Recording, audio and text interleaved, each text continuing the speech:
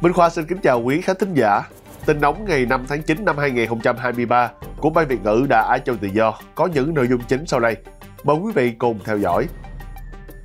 Tù nhân lương tâm Đặng Đình Bách bị đánh vào đầu sau khi tố nhóm phạm nhân cầm dao uy hiếp tù chính trị. Bình Thuận, thanh niên 28 tuổi chết trong đồn sau vài giờ bị tạm giữ. Công an nói do mệt khó thở. Bốn tổ chức nhân quyền, Hoa Kỳ sẽ chỉ hỗ trợ về quân sự nếu Việt Nam tôn trọng quyền của dân.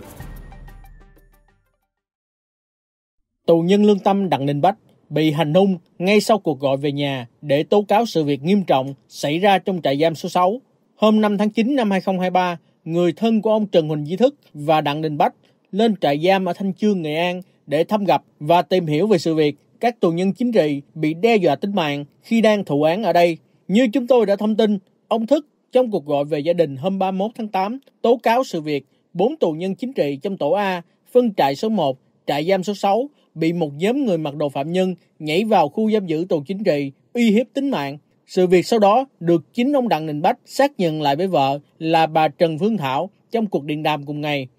Ông Trần Huỳnh Di Tân, em trai ông Thức, trong buổi trưa ngày 5 tháng 9 cho hay, khi cuộc thăm gặp mới diễn ra, ông Thức kêu gia đình ghi lại tên và số hiệu của 7-8 người công an đứng xung quanh và cho biết đó là những người đàn áp và gây khó khăn cho anh ở trong trại.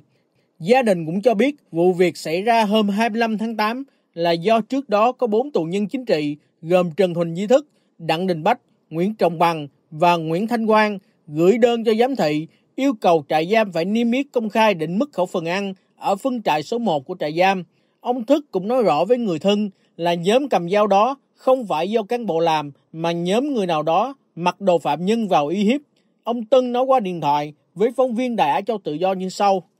Cái buổi thăm anh Thức là anh anh đợi anh hết giờ gần hết giờ cuối cùng rồi thì cái câu cuối cùng mà anh nói tại vì khi mà anh biết rằng nói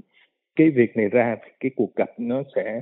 sẽ bị ngăn lại và anh để tới cuối cùng và anh, anh hét lên anh nói anh nói thật là to cho gia đình biết cái hôm mà gọi điện thoại về ngày 31 tháng 8 của anh Bách á, thì anh bị cán bộ hành hung nghiêm trọng. Và nói tới đó thì gia đình cũng tranh thủ hỏi lại thì anh, bản thân anh thức có bị hay không? Thì anh thức, anh nói anh không bị hành hung. Gia đình trước đó gửi đơn kêu cứu khẩn cấp đến ông Trần Bá Toan, giám thị trại giam số 6 và Viện Kiểm sát Nhân dân tỉnh Nghệ An để đề nghị thực hiện ngay các biện pháp để bảo vệ tính mạng, đảm bảo sự an toàn cho bốn tù nhân chính trị ở tổ A, phân trại số 1, trại giam số 6. Sau khi kết thúc buổi thăm gặp, những người thân của ông Thức yêu cầu được gặp trực tiếp ông Trần Bá Toan để chất vấn về vụ việc. Tuy nhiên chỉ có một cán bộ đồng ý gặp một người thân, cho biết trại giam đã nhận được đơn nhưng ông giám thị đang đi công tác, sẽ trả lời sau khi xem xét lá đơn.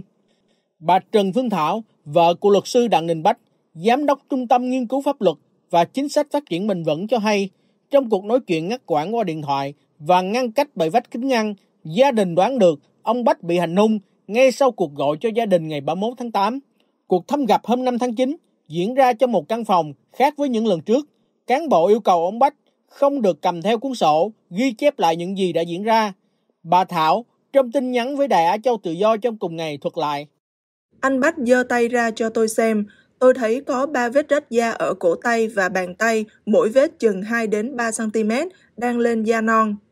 Tôi hỏi anh bị sao, anh Bách nói tôi tự hiểu. Có nhiều điều anh không thể nói ra được, nhưng anh tin là em đang tự nhận thức được điều gì đang diễn ra ở trong này. Trong cuộc nói chuyện chấp vá sau đó, ông Bách cho biết ông có vết thâm tím sau gáy dài khoảng 7cm và đến nay vẫn còn bị đau đầu. Tuy nhiên bị cán bộ từ chối cho đi khám, chụp chiếu vào ngày 31 tháng 8, ngay sau cuộc gọi về nhà, anh bị đánh chí mạng vào đầu từ phía sau. Ngày 1 tháng 9, anh có tố cáo và có người đến ghi nhận hiện trường. Trong biên bản còn có dấu giày. Ở trong này anh không vi phạm điều gì, mọi chuyện tự nhiên đến. Bà Thảo thuật lại lời của ông Bách, cho biết sức khỏe của ông không được cải thiện sau lần tuyệt thực trước và cân nặng chỉ còn 43 kg. Sau khi nói ra những điều này, cán bộ quản giáo hăm dọa sẽ dừng cuộc thăm gặp nếu còn tiếp tục. Bà Thảo cũng cho biết cả bốn tù nhân chính trị trong tổ A đều từ chối nhận khẩu phần ăn của trại và chỉ sử dụng thức ăn của gia đình gửi. Phóng viên gọi điện thoại cho trại giam số 6 để xác minh thông tin, tuy nhiên không thể kết nối. Gia đình một thanh niên vừa bị thiệt mạng tại trụ sở công an huyện Đức Linh, tỉnh Bình Thuận mà người thân nghi đã bị công an huyện này ép cung tra tấn dẫn tới tử vong hôm 3 tháng 9 năm 2023 vừa lên tiếng với Đài Á Châu Tự Do yêu cầu đích danh Bộ trưởng Công an Việt Nam Đại tướng Tô Lâm có trách nhiệm giải trình vụ việc. Hôm 5 tháng 9 2023, từ nhà riêng của cha mẹ đẻ của nạn nhân Bùi Văn Hải tại huyện Đức Linh, tỉnh Bình Thuận, ông Bùi Mạnh Hùng, anh ruột của nạn nhân nói với Arab A tiếng Việt. Bây giờ là tôi chưa có yêu cầu gì nhưng mà sự việc mà không làm rõ ra thì tôi cũng muốn yêu cầu Bộ trưởng Tô Lâm tham gia mà làm ra rõ sự việc để cho em tôi đỡ bị oan ức. Ông Hùng thuật lại vụ việc cho biết, vào lúc khoảng 18 giờ ngày 3 tháng 9 năm 2023, trưởng công an xã Vũ Hòa xuống mời Bùi Văn Hải, 28 tuổi, lên cơ quan công an xã làm việc. Ông Hùng chở em trai lên xã, giao cho công an xã Phú Hòa, sau đó trưởng công an xã giao lại cho hai viên công an huyện là Bùi Sĩ Ngân và Lê Hữu Tùng, cán bộ công an huyện Đức Linh, lúc 19 giờ 20 phút để đưa lên cơ quan công an huyện Đức Linh làm việc. Sau đó lúc 23 giờ 45 phút, ông Hùng nhận được một thông tin là có người chết mang lên bệnh viện huyện Đức Linh nên lên đó và thấy em trai đã tử vong, không có người mặc sắc phục công an nào ở đó. Bệnh viện cũng cho biết có hai người đeo khẩu trang đưa Bùi Văn Hải lên bệnh viện lúc 21 giờ ngày 3 tháng 9 năm 2023. Ông Hùng cho biết ông là người đầu tiên trong gia đình nhìn thấy tình trạng thi thể của em trai của mình tại bệnh viện. Ông nói với Đài Á Châu Tự Do.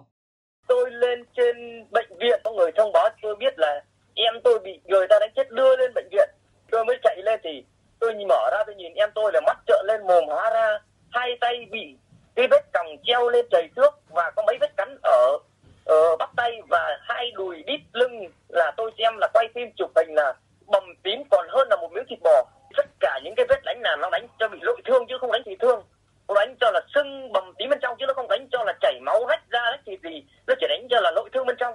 Gia đình khẳng định là bên cơ quan điều tra công an huyện Đức Linh làm gây ra cái chết của anh em tôi. Hôm 5 tháng 9, ông Bùi Mạnh Hùng bác bỏ các cáo buộc trên của báo chí nhà nước Việt Nam và cho biết sau phản ứng của gia đình một bài báo của địa phương đăng trên báo Bình Thuận đã phải gỡ bài viết. Ông Hùng khẳng định em trai của ông ở nhà ngủ trong thời điểm các báo đưa tin cáo buộc xảy ra vụ trộm chó hay trộm tài sản.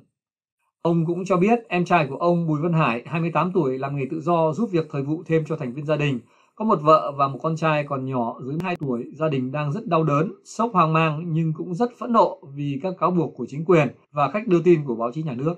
Ông Hùng cho hay sau khi gia đình đưa thi thể của em trai ông về nhà, công an đã có một số hành vi như ngăn chặn người nhà nạn nhân đưa tủ cấp đông để giữ xác bằng phương tiện vận chuyển về nhà riêng trong lúc chờ kết luận giám định pháp y, khiến họ không còn cách nào khác là phải đẩy bộ mới mang được tủ cấp đông này về nhà. Ngoài ra vẫn theo ông Hùng, nhiều quan chức chính quyền địa phương từ cấp huyện tới xã, thôn trong đó có quan chức công an lẫn công chức hành chính liên tục thuyết phục gia đình tiến hành mai táng sớm dù gia đình yêu cầu phải làm rõ nguyên nhân gây ra tử vong cho người nhà ở công an huyện và yêu cầu những người chịu trách nhiệm phải được đưa ra ánh sáng. Ông Hùng nói với Arab A tiếng Việt, ông cho rằng những hành động trên của công an và chính quyền chỉ cho thấy họ có thể muốn xóa bỏ các bằng chứng gây ra cái chết của em trai ông và gây khó khăn cho một cuộc điều tra nếu có. Hôm 5 tháng 9, Arab đã tìm cách liên lạc với một số quan chức công an và chính quyền ở huyện Đức Linh, tỉnh Bình Phước, trong đó có một số quan chức công an. Và trong khi Thượng tá Ung Chiêu Thành, trưởng công an huyện Đức Linh không nhấc máy điện thoại trả lời, thì Thiếu tá trưởng công an xã Vũ Hòa, huyện Đức Linh đã từ chối cung cấp thông tin cho phóng viên của chúng tôi. Tại tôi không cung cấp khi anh gặp được tiếp, nếu mình gặp được rồi, tôi đã cung cấp được, không cung cấp được. Tôi có công tác xa, không có nhà là thông cảm với em đây. Thiếu tá Phương đáp lời của phóng viên Arab A khi được yêu cầu cho biết nguyên nhân của cái chết của ông Bùi Văn Hải.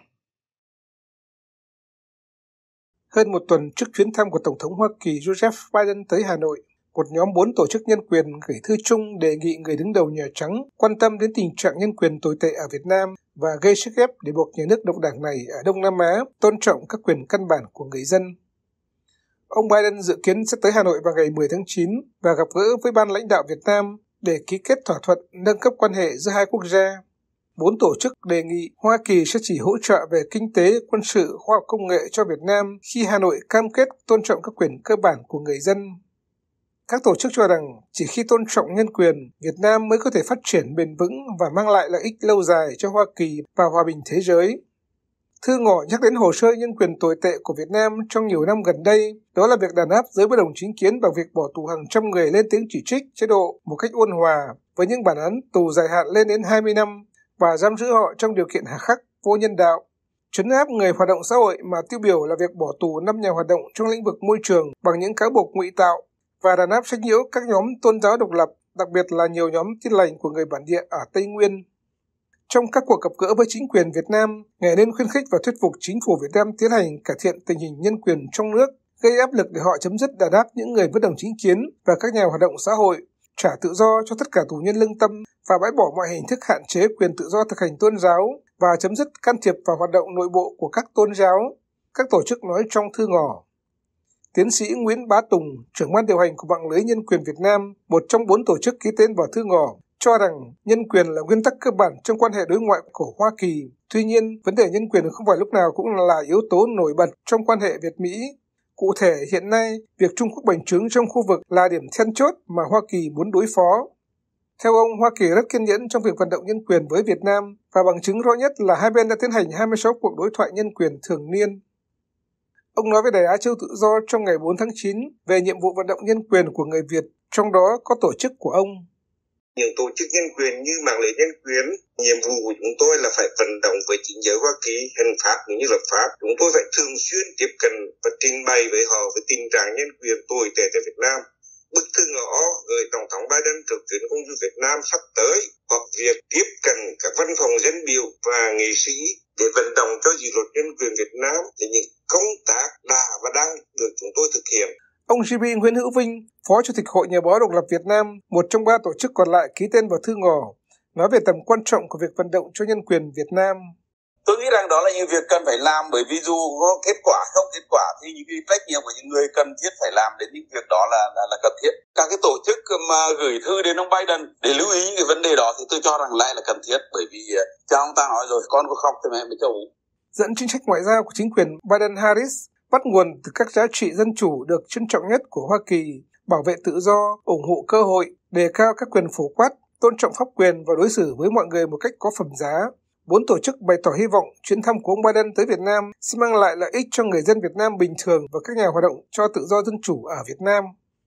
Trong ngày 4 tháng 9, dự án 88, một tổ chức vận động cho nhân quyền Việt Nam cũng ra thông cáo báo chí kêu gọi Tổng thống Biden đặt điều kiện với Hà Nội trước khi ký kết thỏa thuận nâng cấp quan hệ song phương. Biden nên yêu cầu Việt Nam trả tự do cho các tù nhân chính trị, chấm dứt việc bắt giữ người hoạt động nhân quyền và ân xá cho tất cả các tù nhân chính trị, dự án 88 nói trong thông cáo. Tổ chức này nói hai quốc gia đánh dấu 10 năm thiết lập quan hệ đối tác toàn diện. Tuy nhiên, việc thắt chặt quan hệ song phương lại trùng với việc Việt Nam gia tăng đàn áp người dân trong nước.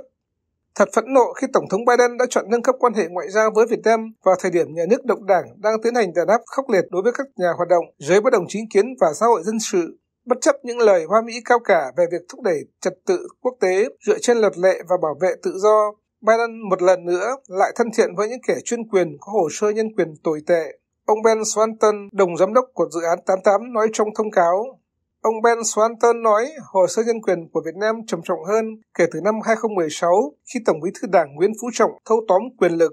Dưới sự chỉ đạo của nhân vật bảo thủ này, Bộ Công an đã thực hiện trấn áp khốc liệt đối với giới hoạt động bằng những điều luật mơ hồ trong bộ luật hình sự. Việc Việt Nam đàn áp giới hoạt động và giới bất đồng chính kiến làm đóng cửa các nhà xuất bản độc lập, các nhóm báo chí tự do và các tổ chức chống tham nhũng trong nước với hậu quả nặng nề đối với các cố gắng thúc đẩy chính trị đa nguyên. Ông Swanton nói, Việc không trừng phạt Việt Nam vì hành vi vô pháp đã gây ra hậu quả ấn lạnh. Chính quyền đang sử dụng lời đe dọa truy tố hình sự vì tội trốn thuế như một biện pháp ngăn chặn sự xuất hiện của xã hội dân sự độc lập, đồng thời hạn chế các quyền cơ bản như quyền tự do lập hội và ngôn luận. Ông Swanton tổng kết.